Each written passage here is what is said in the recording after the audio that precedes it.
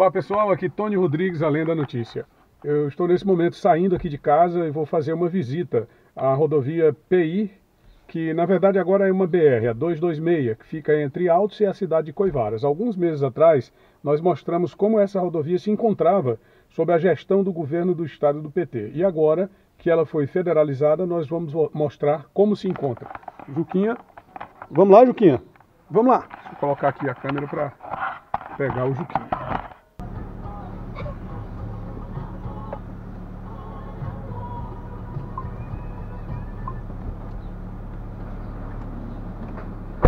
Então é isso.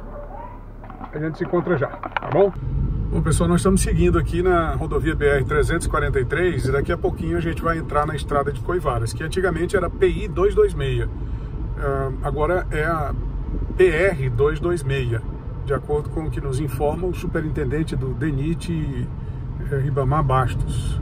Uh, agora o governo federal está fazendo a recuperação da rodovia. Alguns meses atrás nós mostramos que ela se encontrava completamente depreciada sob a responsabilidade do governo do estado. Então, quando ela passa para a responsabilidade do governo federal, obrigatoriamente ela tem que prestar um bom serviço à população, tem que ser uma rodovia de qualidade. Vamos ver agora. Aqui pela rodovia BR 343, estamos quase chegando na entrada ali, ó. Essa é a entrada da estrada que vai para o município de Coivaras. Esse aqui é o trecho inicial da rodovia. Está sendo feito o trabalho pelo governo federal. Durante 10 anos, sob a responsabilidade do governo do estado, ela estava quase que intrafegável. O senhor é o vigilante aqui? Oh. Como é o nome do senhor? Adriano Alves Cardoso. Me diga uma coisa, desde quando essa obra está acontecendo? Começou no mês de julho. Come... Começou em julho, né? É. Antigamente a rodovia aqui era estadual, sendo obra do DENIT é federal. É, mudou agora. Aí o senhor fica o quê? O senhor fica nos finais de semana? Não, um dia sim, outro não. Tem... Fico de dia e a noite é outro, um passando por outro. Cuidando do maquinário. É, isso. A construtora Vilaza. É. Tá ficando bacana a obra. Tá, beleza. Do governo federal, né? Do governo É. Bolsonaro, né? É. Ah, muito bem. Valeu. Mais uma perguntinha aqui. E o almoço é como? Eles mandam pra cá. Ah, eles mandam a comida, né? Mandam. A Então- empresa fornece a comida. Agora também não pode dormir, né? Não, Se dormir, se cochilar, o cachimbo cai. é complicado. É complicado. Valeu, cara. Valeu. Um abraço. Valeu, valeu. Então nós estamos aqui. É, agora não é mais PI, né? Tem que tirar da cabeça esse negócio de rodovia estadual. É uma rodovia federal, que é a BR 226 Altos Coivaras. Professora Pedrina, tá aqui o nosso Juquinha, que é o companheiro de jornadas, né? Todas as matérias o Juquinha tá por perto. Mesmo quando não é percebido, ele tá lá do meu lado. Aqui é ma- o maquinário da obra. Tá aí, ó. DENIT Vilaza, construtora a serviço do DENIT. Obra realizada pelo governo federal, de modo que é importante essa obra. Caminhão?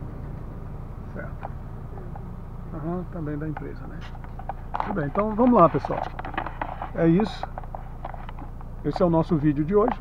Espero que você tenha gostado e só para registrar, o objetivo desse vídeo é exatamente mostrar a inércia do governo do estado na recuperação de rodovias estaduais. Depois de, desse tempo todo, o governo federal teve que estadualizar para garantir que a obra fosse feita. A minha, o meu questionamento é o seguinte: até que ponto a população está percebendo essa ação do governo federal? Porque são várias as ações é, é, BR 135, BR 235, BR 316, é, a duplicação da BR 316 entre Teresina e Demerval Lobão, a construção de uma ponte importantíssima na estrada da soja, lá na região sul, Alto Parnaíba, ligando ao município de Santa Filomena, aqui no estado do Piauí. E mesmo assim, as pessoas insistem em dizer que o presidente Jair Bolsonaro, que o governo Bolsonaro nada fez pelo estado do Piauí ou pelo Brasil. Para que a gente possa efetivamente mostrar, isso aqui é um fato, tá? Isso aqui não tem opinião e não tem ilação, isso aqui é uma realidade. Isso é uma ação, é uma, uma obra do governo federal. Tá aí, ó.